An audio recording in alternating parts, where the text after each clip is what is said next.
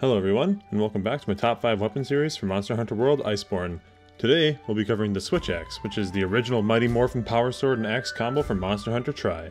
The Switch Axe has long been a popular choice, and for good reason as the Axe form packs mighty destructive damage, while the Sword mode packs flashy combo finishers, which makes the weapon highly adaptable and really fun to use.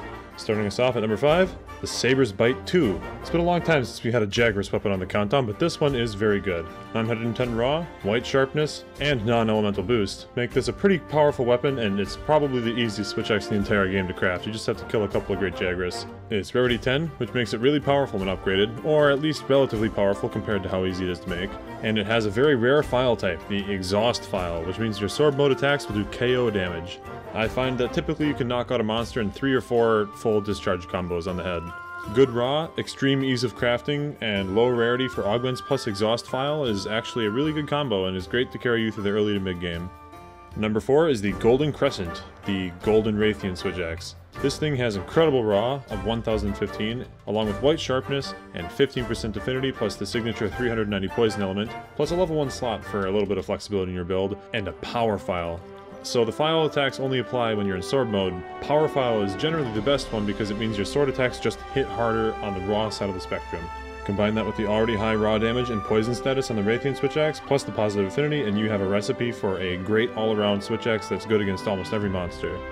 Number 3 is the Black Harvest, the Alatreon Switch Axe. 981 raw is pretty darn good, but the main selling point to me, as always, is extreme amounts of purple sharpness. You're basically never going to run out of sharpness using this thing neutral affinity, and a very impressive 661 dragon, plus two level 2 slots, and a power element phial which serves to sharpen the weapon's dragon slaying identity, give us a switch axe that is a great, or at least decent all-arounder that you never have to sharpen and that destroys dragons like nobody's business.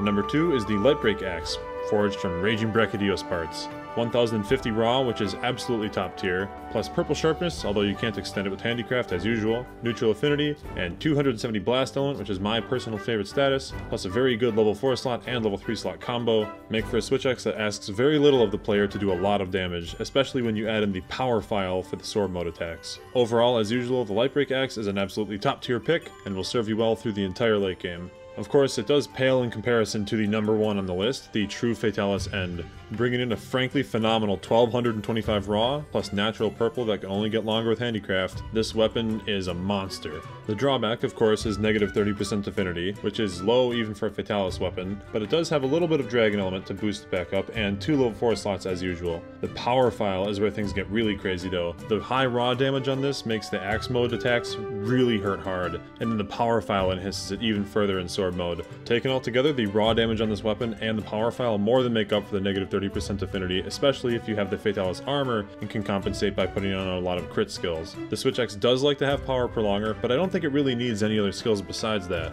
As a result, your builds are very flexible and you can put in a lot of crit skills if you want to.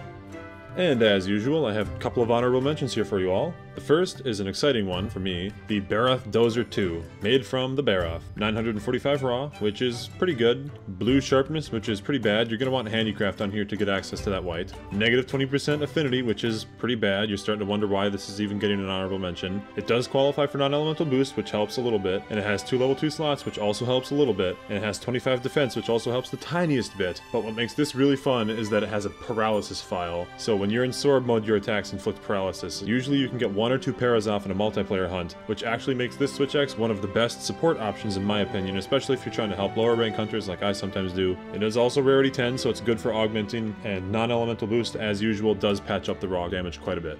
My second honorable mention is the Moonstone Hoarfrost, which comes from the Frostfang Barioth. This Switch Axe is less of a raw option and more of an elemental option. It only has 945 raw, same as the Barroth, but it does have natural purple and a decent amount of it too, plus 15% built-in affinity, but the impressive part is 480 ice element, which is great versus a lot of monsters in the game, and that power element phial. It's similar, if a little worse than the Switch Axe at doing the elemental damage builds, but it does occupy a similar niche while being way, way, way, way easier to craft. So if you like messing around with elemental style Switch Axe, this is going to be your best mid-game pick.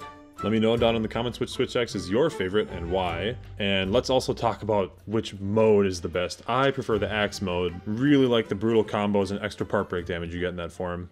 Anyways, that's all I've got, so thank you so much for watching, and come back next time.